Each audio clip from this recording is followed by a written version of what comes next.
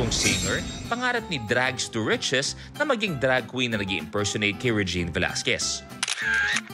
Kung sintonado, pangarap niya maging drag queen na nag impersonate kay Sarah Geronimo.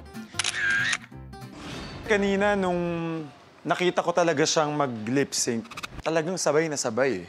Dito naman, ang galing niya din. Ay, nalilito ka na. ha?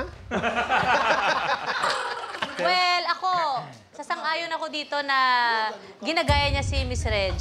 Ang yan ang pakiramdam na kunwari nagsusuot ka dito ng, ng shorts na ganyan, palaging tinatapatan ka ni Negi. Pero iba yung kay Neki, parang may manas eh. Wala, inaaway mo si Mama. Eh, maganda to kanina pag-alis ko.